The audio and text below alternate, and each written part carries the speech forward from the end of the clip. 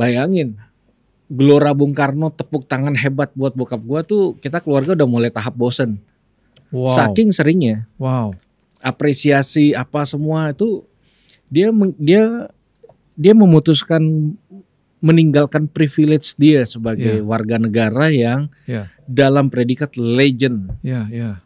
demi anaknya yang ya menurut gue waktu itu investasi bodong lah kalau sekarang ya, ini Ya, ya, ya, ya. ya kan ngurus anak kayak investasi bodong Iya, sembuh iya. belum tentu Iya. sehat belum tentu ba- jadi baik belum tentu Ya, ya.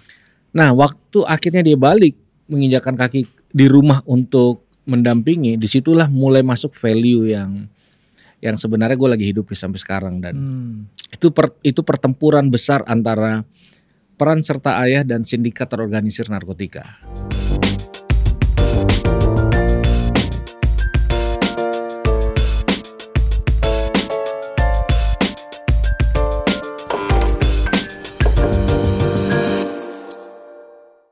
Teman-teman sahabat kopi, kembali ke Billy's Coffee Table dengan saya Billy Lantang.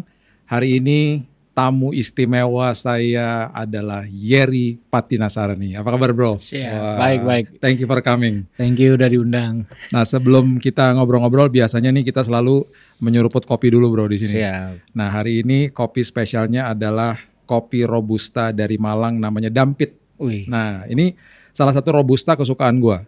Robusta itu biasanya pahit dan eh, tidak asam karena di dataran rendah. Kita seruput dulu ya. Siap. Seruput dulu. Hmm, kopi dampit emang enak banget. Memang eh, kalau mau didapatkan di kota-kota yang lain, kota-kota besar biasanya harus lewat online kali ya. Tapi kalau ke Malang jangan lupa beli kopi dampit robusta luar biasa. Bro, Her Bro Yeri nih, hari ini kita mau ngobrol-ngobrol eh, tentang masa lalu pastinya. Siap. Terus kemudian karena gue udah lihat banyak sekali campaign-campaign yang lo buat dan sangat berdampak bagi generasi sekarang dan sangat inspiratif dan eh, boleh nggak ceritain nih tentang hidup lo gitu ya. Eh, kita tahu bahwa lo anaknya salah satu legendaris sepak bola Indonesia yang luar biasa. Gue ngefan banget sama bokap lo dulu waktu Iya. masih kecil nonton timnas ya. Ya. Eh, Bapak Roni Patinasarani. Nomor berapa tuh dia dulu ya? Eh, ini Nomor punggungnya. nomor nomor lima. Nomor 5 ya. Iya. Dan gue sama bokap itu ngefans banget sama dia waktu nonton G. Waktu itu cuma ada satu kalau nggak salah TVRI doang ya, zaman Iya. dulu ya. Nonton bola dan sangat rajin gue nonton bola. Yer cerita Yer tentang diri lo Yer. Ya, jadi eh, gua tuh percaya bahwa masa lalu yang buruk di tangan Tuhan tuh aset Hmm. untuk bisa raih masa depan lagi Hmm, gitu. hmm, hmm. Jadi ya apa yang terjadi di masa lalu gua itu eh, akhirnya tetap ada sampai hari ini. Iya. Dia tidak menjadi masa lalu dan masa kini, Iya. tapi Jadi bagian hidup ya. menjadi berubah karena ada campur tangan Tuhan. Iya. Iya. Ya siapalah yang per- yang pernah berpikir bahwa satu saat ingin terlibat dalam hid- hidup dengan drugs. Itu sih kalau gua Iya. dengan drugs. Iya.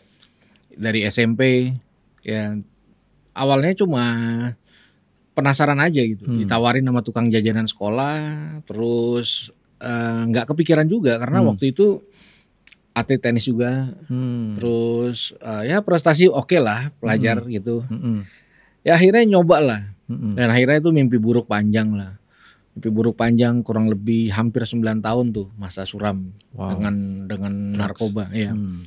Zaman dulu ya seperti sekarang cuma waktu itu lamanya pakai putau. Di putau tuh jarang. Oh iya iya iya. iya. Ya jadi dari psikotropika dulu kan biasa Iya, gitu ya orang Iya, ya. Iya. Terus kenal ganja, dulu ada Iya. budastik, kokain, sabu, Hmm. ekstasi, akhirnya jadi lama pakai putau. Hmm. Jarum suntik. Makanya nggak lama kemudian eh, terinfeksi hepatitis C. Itu Gitu. gara-gara jarum suntik itu. share jarum suntik. Dulu kan ya namanya jangki kan. Iya iya iya. Jarum suntik tuh diakal-akalin dulu. Wow. Pakai mentega lah, pakai apalah, direbus lagi Wow. gitu. Jadi Iya iya. itu masa brutal sih. Iya iya. Jarang yang lolos, Hmm. yang masih hidup maksudnya ya. Jadi maksudnya nih teman-teman Jerry banyak yang udah Iya. meninggal. Iya. Masa-masa itu. Dan itu kayaknya lumayan merata tuh. Hmm. Akhirnya sekolah hancur. Hmm. SMP dua kali dikeluarin, SMA 8 kali. Sampai blacklist di Jakarta pindah ke eh, Banjarmasin sama Ini dikeluarin P8 kali berarti ada 8 sekolah nih. 8 sekolah. Loh, makanya kalau reunian banyak. Prom night juga banyak. Mau Iya, yang iya, mana? iya. Jadi seragam di rumah di rumah banyak. tuh. Banyak. Wah, delapan sekolah. Iya. Delapan sekolah, Wow. empat kota. Delapan sekolah, empat kota. Iya. Jadi ya susah lah mau ya bagaimana mau mau satu tahun full gitu Hmm. karena kita kan make Hmm. itu buat masalah entar mukul guru, entar jualan narkoba, entar Sampai ribut. mukul guru. Pernah. Wow. Iya. Ya narkoba itu kan ya buat informasi ya, Hmm. dia merubah pikiran, Hmm. perasaan dan Hmm. kehendak kita juga. Mhm. Just akan ada yang berubah secara signifikan Mhm. ketika seseorang mengkonsumsi Hmm. eh, zat adiktif ini. Hmm. Dan salah satunya itu dampak-dampak emosional itu. Iya, iya, iya. Dan akhirnya memburuk, memburuk, memburuk. Akhirnya kena masalah psikis juga. Ini sebenarnya sih yang riskan ya. Kalau bukan Hmm. Tuhan sih sulit. Iya, Jadi iya. sekali pulang nyokap tuh nangis tuh ngeliat gua. Ngobrol sama pohon bro. Hmm. Ayo Lu- lu pohon. ngobrol sama ngobrol sama pohon? pohon iya. Ngobrol sama pohon, ngobrol sama kursi, ketawa-ketawa sendiri. Akhirnya udah mulai udah mulai kena tuh psikis tuh. Hmm. Ah itu udah mulai nggak ada teman, benar-benar nggak ada teman, nggak ada makanya ke gereja juga orang takut, Hmm. bergaul juga orang takut dan akhirnya terpuruk terpuruk akhirnya jadi jadi bandar waktu Hmm. itu karena nggak punya uang make akhirnya ya udah Sempat jual-jual barang di rumah dong? wah itu sih hampir semua sih pernah dijual Wow. hampir semua jadi ya jual-jual barang Iya. lakukan kejahatan di luar juga nodong orang apa begitu ya karena keperluan duitnya gede banget terus Hmm. kebutuhan adiksinya kebetulan yang yang gue pakai itu putau kan Hmm. lumayan brutal ininya Hmm. sakau kan kalau sekarang Iya, orang iya. kenalnya sange Iya, iya, iya, iya, iya. Ya, itu kan dari kata sakau. Sakau itu kan Iya. sak- sakit karena putau. Sakit karena putau. Sakit karena putau Ah, gitu. Oke, oke, oke, Gue baru tahu tuh. gue coba, gue tahu kata sakau, cuman gue gak tahu tuh singkatan dari sakit karena putau. Iya. Oke. Ya, sekarang dipakai buat yang pengen-pengen Iya, yang iya, lain iya, gitu. iya. Tapi itu lah. Jadi itu ya jadi kalau sakau itu dari mata keluar air, dehidrasi, Hmm, hmm. meriang, Hmm. Terus linu, Hmm. demam. Hmm. Wah, menderita banget dah. Selama lagi kejadian itu, nyokap nangis, lo bilang. Iya. Bokap gimana? Bokap ya sebenarnya dia memegang peranan penting sih. Hmm. awalnya dia berpikir ya itu kan cuma nama Putau itu kan tahun 70-an populernya kayak bir biasa. Oh gitu. Ya, makanya sindikat narkoba itu berkamuflase dengan istilah-istilah yang terus berkembang sih sampai hari ini. Jadi maksudnya bokap berpikir ah sudahlah biasalah. Awalnya awalnya Hmm. Pak apa juga kadang-kadang ngebir lah katanya gitu. Oke. Nah, pas dia tanya temennya ternyata itu kan ampas heroin. Nah, dia tahu itu mulai serius. Putau adalah ampas heroin. Iya, yang waktu itu ya. Iya, iya, iya. yang beredar di eh, apa anak-anak muda gitu. Iya. Nah di situlah dia mulai bingung gitu karena Hmm. waktu itu dia dalam kondisi melatih. Hmm. Jadi dia secara reguler melatih klub-klub besar lah. Jadi secara waktu juga waktu itu dia lagi sibuk lah ya. Lagi sibuk. Iya, iya. jadi yang lihat lu lebih sering ya pastinya nyokap lah. di Iya. rumah. Dan tapi nggak ada masalah gitu loh. Maksudnya gua nggak dalam kondisi broken home. Betul. Bokap juga oke-oke aja. Hmm. nggak ada kehilangan figur apa. Iya. Nah itu masuk begitu aja. Hmm. Itu. Mhm. Nah jadi, nah di situlah dia mulai masuk dalam struggle-nya dia. Hmm. Ketika dia tahu gue mulai make. Hmm. Dia berharap itu tidak terjadi. Mhm. Dia ada di persimpangan di mana dia harus milih bola Hmm. atau gua. Oke. Oke. Nah, gua disclaimer dulu nih, seperti iya, yang iya. lo tahu kan, Bro. Iya, iya. Bokap itu sampai hari ini adalah orang yang paling gila bola yang pernah gua temui. Gue belum pernah ketemu ada orang gila bola kayak bokap gua sampai Oh. hari ini. Iya, iya, iya. Ya, which is gue makan minum semua tuh dari bola sebenarnya. Iya, iya. Makanya dulu tuh rumah gua pagarnya bola, lampu tamannya bola, Sampai segitunya. segitunya kamar mandi bola. Gue difoto baru se- seminggu apa, belum sebulan udah difoto mas sepatu bola dia. Wow. Bola tuh agama buat bokap gue, Iya, iya, iya. agama. Iya, Jadi gue bisa ngerti dia akan stres banget ketika harus milih Hmm. dua-dua yang dia cintai, Hmm. bola Atau anaknya. atau anak. Bola dia bisa keluar masuk istana tanpa protokol, pakai baju bola. Kayaknya cuma dia deh Iya, iya, iya. iya. yang bisa nggak pakai batik tetap aja masuk gitu. Iya, iya. Dan eh, akhirnya persimpangan itu sampai sih. Hmm. di mana dia waktu itu ngelatih Petrokimia Gresik, Hmm. Jawa Timur. Mhm. Lalu predikatnya sebagai pelatih dan pelatih terbaik dan termahal Hmm. di Indonesia. terbaik dan termahal di terbaik dan Indonesia. termahal. Hmm. Dia to- top coachnya lah Mhm. gitu Mhm. Di Liga Indonesia di ya. Liga Indonesia gitu dan lumayan berbicara juga di beberapa negara lain which is, Hmm. eh, pernah beberapa kali ditawarin ngelatih klub-klub luar juga Iya, iya, Jadi, iya. mungkin itu eh, bukan mungkin ya rasanya itu di puncak karir dia sepanjang dia ber, berkarir dalam sepak bola, bola, iya. gitu. Nah tapi dua anak laki-lakinya bukan cuma gue bro, ada kakak gue. Kakak juga kenal. Iya, jadi dua jagoan. Bayangin satu jual rice cooker dengan nasi nasinya, satu jual tabung gas, satu jual mendali, satu jual TV, Wow. hancur lah. Nah, gue udah bisa nebak Hmm.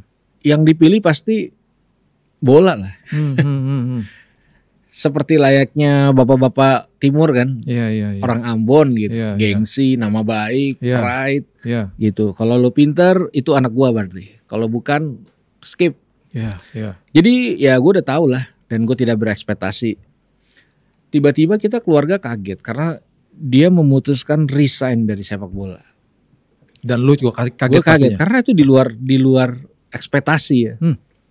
Bayangin, Gelora Bung Karno tepuk tangan hebat buat bokap gue tuh kita keluarga udah mulai tahap bosen. Wow. Saking seringnya Wow.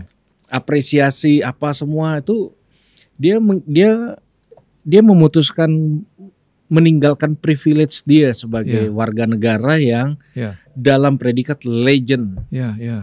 demi anaknya yang ya menurut gue waktu itu investasi bodong lah kalau sekarang Iya, ini Iya, iya, iya, iya. ya kan ngurus anak kayak investasi bodong Iya, sembuh iya. belum tentu Iya. sehat belum tentu ba- jadi baik belum tentu Iya, iya.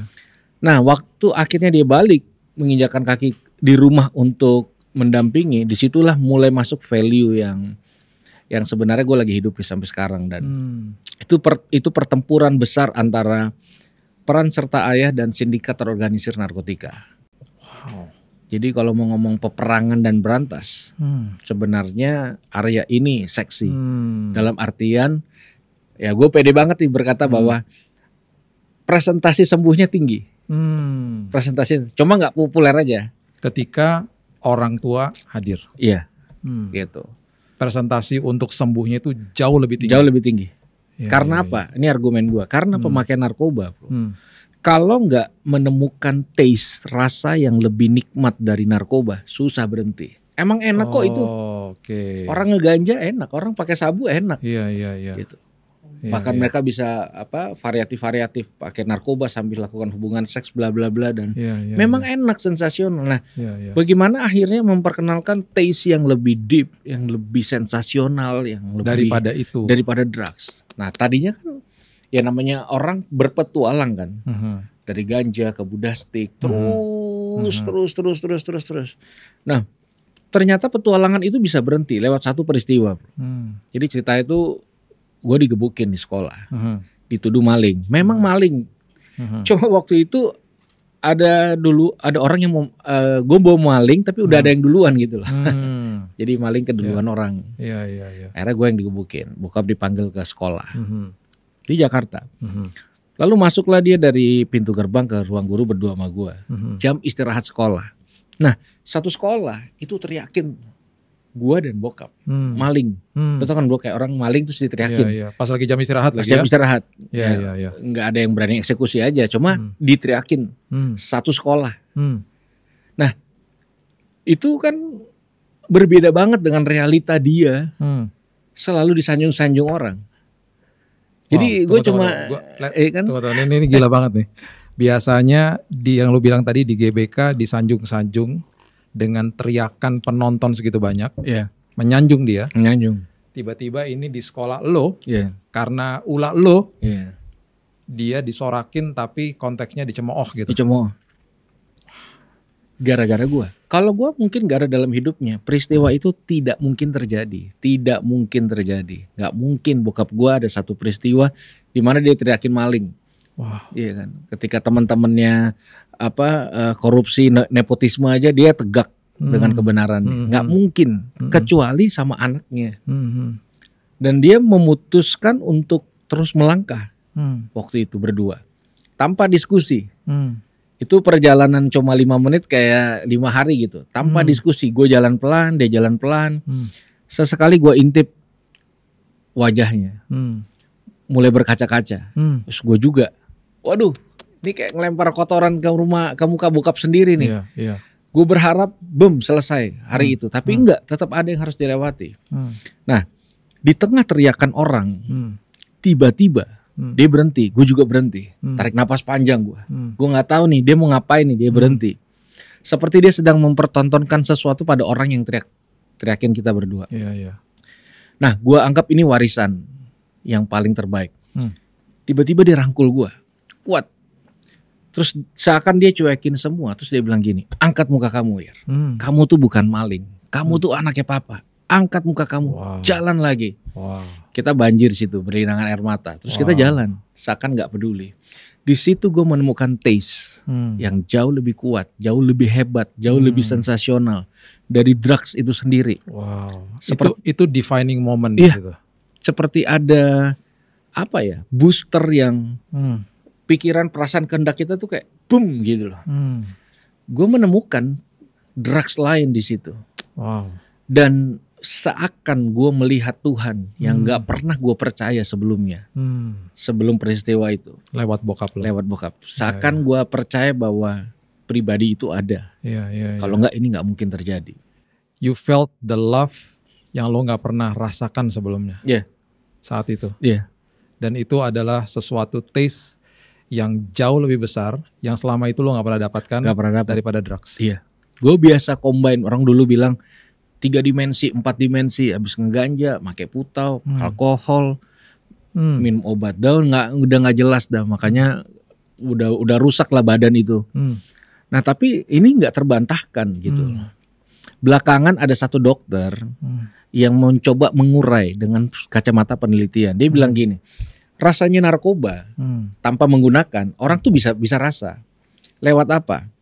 Ketika seorang anak tuh sering dipeluk, dicium, dibelai sama bapaknya. Hmm. Ya di situ kan gue ingat eh, perkataan bapak yang bilang gini, "You are my beloved son." Yes. Yes. Itu ternyata menghasilkan ledakan emosi. Hmm. Anak-anak akan kebanjiran dopamin Hmm. yang menyebabkan anak itu happy kayak orang Iya. pakai heroin. Iya, iya, iya, iya, iya. Jadi narkoba itu sehangat dan seindah Hmm, hmm, hmm, pelukan Mm-mm. dan kasih sayang seorang ayah. hmm. Nah di situlah progresifnya gua dengan drugs itu membaik, membaik, membaik, membaik Hmm, hmm, sampai akhirnya tahun 2000 berhenti, hmm, hmm.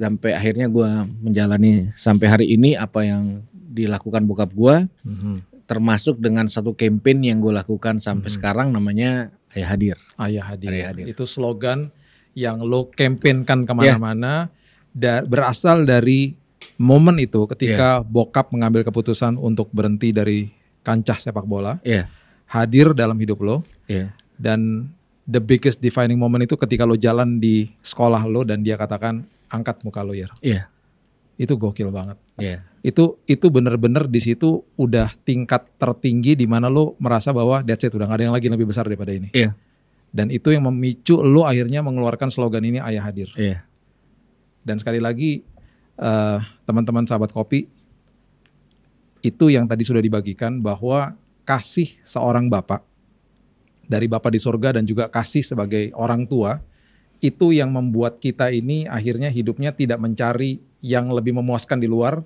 tetapi puas dengan apa yang kita dapatkan di dalam rumah. Itu sebabnya hadir. Nah, boleh terangkan lebih jelas lagi nggak? Ya. Ayah hadir tuh untuk juga orang tua-orang tua yang selama ini kan kita sering dengar gini loh ya. Kan gue beberapa ngomong sama orang tua orang tua. Pak, saya ini kan sibuk pak. Hmm. Tapi kan saya udah bayarin uang sekolah. Hmm. Semua udah ada di rumah pak. iya, Kan semua udah tersedia di rumah. Lagian ada ibunya kok gitu. Hmm. Nah itu gimana? iya. Makanya gini, statement itu mewakili satu culture yang ada di Indonesia, Mhm. lintas budaya bahkan lintas agama, Mhm. di mana bapak-bapak itu eh, berpikir bahwa mengasuh dan hadir di rumah itu Mhm. bukan tugas dia, Iya iya. ya kan? Bro, hadir dong di rumah. Hmm. Gue kurang hadir apa? Anak tiga, loh. Hmm. Kalau cuma anak banyak, oh, kucing juga banyak.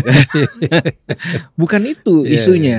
iya. Nah, sama kayak gini. Kalau orang pergi ke toko mainan, Hmm. yang beli mainan baby-babyan kan mainan perempuan. Masa iya anak laki? Iya. Tapi kan kalau udah gede nggak bisa gitu dong. Iya.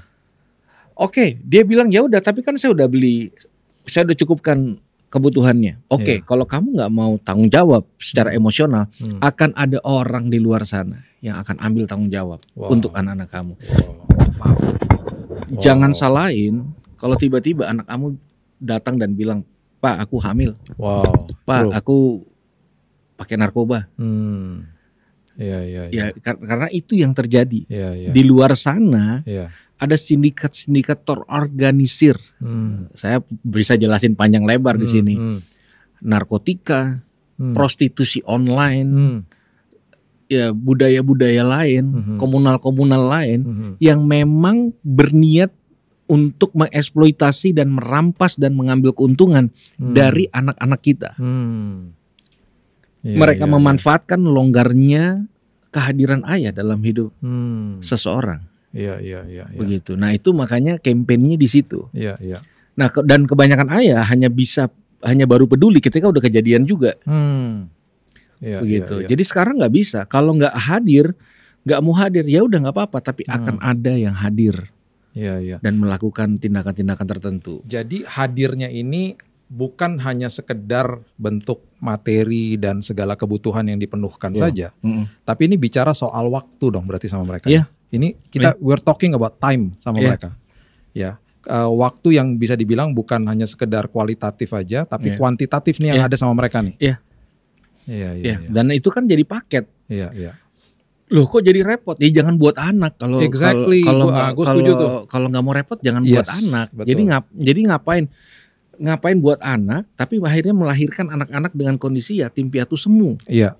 Iya, begitu. iya, nah, iya, itu iya. harus harus clear dulu bahwa ya gimana itu part dari tanggung jawab kita laki-laki. Iya, iya. Jerapah lahir 4 jam kemudian anaknya bisa lari. Hmm. Kita nggak bisa serohani apa pun doain anak umur 3 bulan, 4 bulan bisa Iya, jalan. Iya, Mesti diajarin, kadang Iya. kita mesti cuti, iya, iya. kadang kita mesti eh, lakukan hal-hal yang dalam konotasi itu Iya. sepertinya tugas istri. Iya, Nyebokin, temenin eh, bacain cerita sebelum tidur, iya. gantiin pampersnya, ambil waktu bermain Iya. dan makanya kan kadang-kadang kita laki-laki kan Mhm. berpikir pulang ke rumah tuh selesai udah, Mhm. waktunya me time. Hmm, udah beres semua udah, Udah, ya kan? kan sama istri. Iya gitu kan. Nah, sedangkan buat orang keluarga di rumah itu telah waktu yang ditunggu untuk start satu yang baru. Iya, iya, iya. Nah, bayangkan kalau itu tidak terisi, buka mata deh, nggak Iya. gampang. Iya.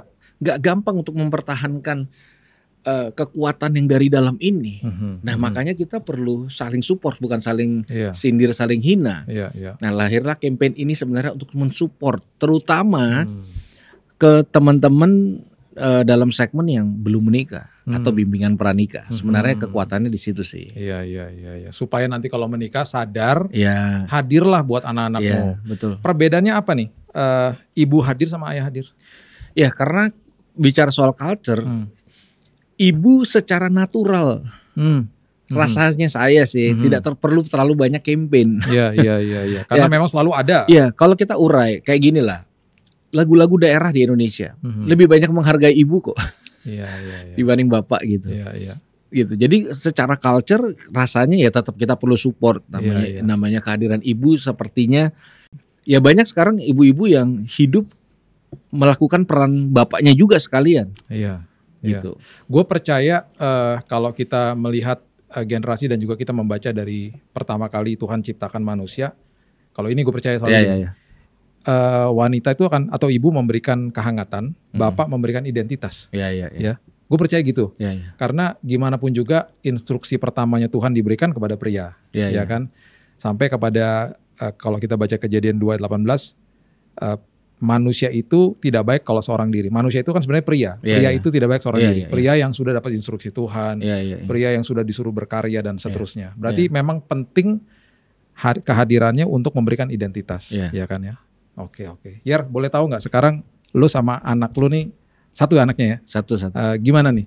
Dengan ayah hadir ini apa sih yang lo terapkan ke mereka kalau supaya orang-orang bisa tahu sehari-hari ini sama sama anak lo apa yang lo terapin ke dia? Ya pertama gue mau memastikan setiap hari dengan anak bahwa yang gue lakukan tidak dalam rangka gimmick gitu. Karena Iya, campaign kadang kita perlu Iya. eh, memakai anak tapi tanpa sadar kita bisa eksploitasi anak sendiri Betul, gitu. Jadi gue akan melakukan senatural mungkin, seorganik mungkin Iya. Ya. Iya. dengan apa yang gue campaignkan dan juga ke anak. Mhm. Ya which is orang kan berkata bahwa ya bapak enak pak baru satu pak. Hmm. Oh ada yang ngomong oh, gitu ada ya? dong, Iya ya. iya iya. Makanya itu kan a- a- a- selalu akan jadi sebuah asumsi. Ya Mhm. bapak enak pak belum dua, ya, Hmm. belum tiga, bapak enak belum Iya. punya cucu, nggak ada habisnya. Iya iya. Makanya firman itu kan menjadi sebuah prinsip lintas Iya. keadaan gitu. Iya iya. iya. Ya kan, bagaimana kita eh, berperan serta. Intinya sih waktu kita berperan serta dan hadir sih, Mhm. ya kita akan tahu dan kekuatannya tuh di hubungan. Iya iya iya. Ya kan, Eh, jadi kita yang tahu, kita yang Hmm. menentukan. Jadi itu sangat eksklusif banget Hmm. gua sama anak gua. Jadi gua Iya, tidak iya. kadang tidak mengizinkan banyak intervensi luar supaya gue juga belajar gitu. Iya iya. Gue juga iya. belajar Iya. eh, mengasihi apa yang dia kasih. Contoh nih, Mhm. nah istri gua tuh eh, dari belum nikah itu nggak suka sama yang namanya ondel-ondel. Oke. Ya kayak wajar lah banyak Iya, orang nggak iya. suka ya Iya iya. budaya Betawi itu. Iya iya iya. Jadi eh, dulu tugas gua tuh menjaga jangan sampai ada ondel-ondel di radius 100 meter Dari dari, rumah? istri gua Oh, dari rumah. istri. Iya dong. Iya iya. Tugas suami. Iya iya. Lalu anak gua ini waktu umur 3 tiba-tiba suka ondel-ondel. Wow. Gak ada hujan, gak ada angin, dia tertariknya sama ondel-ondel tuh Iya iya. Tingkat dewa lah. Iya iya.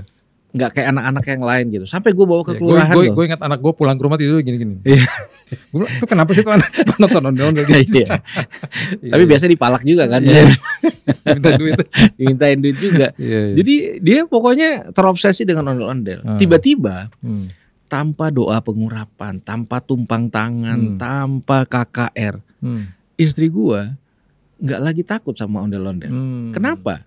Karena waktu dia cinta anaknya, dia Hmm. belajar mencintai apa yang anaknya cintai. Oke, I see. Ya, Jadi ya, ya, ya. chordnya di dalam Tuhan adalah di situlah gue ngerti bahwa kalau kita cinta Tuhan, Mhm. kita mesti belajar mencintai yang Tuhan cintai. Tuhan cinta, yes, amin. Dan chord Ya, itu dari rumah. ya, ya, ya. Jadi gue memastikan anak gue paling nggak pertama, dia nggak kenal Tuhan pertama kali di sekolah minggu, harusnya sama gue. Iya. Kalau dia ya, remaja dia betul. nggak boleh Setuju. dengan ketua youth, Ya. harusnya dengan gue. Yes. Tugas gue lah yang blessing berkat hari minggu, bukan Pak Pendeta yang khotbah Yes. yes. tiap hari. Jadi Yes. memastikan bahwa Setuju. tugas dan tanggung jawab gue itu penuh Yes. Ya, ya, eh, yang terbaik ya, ya, ya. ba- bagiannya sehingga dia tidak perlu jadi dalam tanda kutip gelandangan Ya. cinta kasih, Ya. gelandangan pelayanan, Ya. gelandangan penerimaan dari mana pun. Karena Hmm. gue percaya kalau dia kenyang kasih sayang di rumah, Iya. nggak perlu jajan-jajan kasih sayang di luar. Duh, nancep ya. Bapak catat ya.